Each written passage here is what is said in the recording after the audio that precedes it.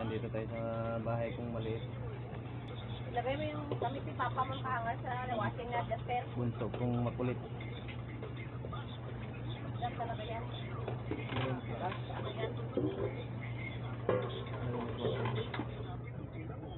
Ang bahay kong maliit.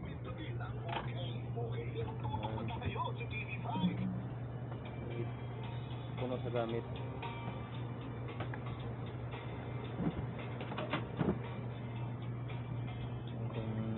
Namin na ipit.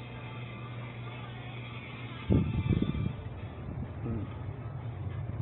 Ano po? Commander po.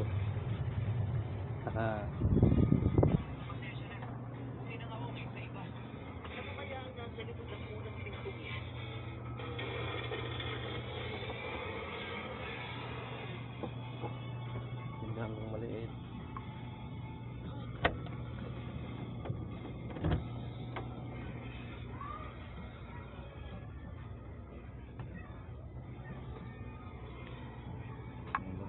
Motor, service ko.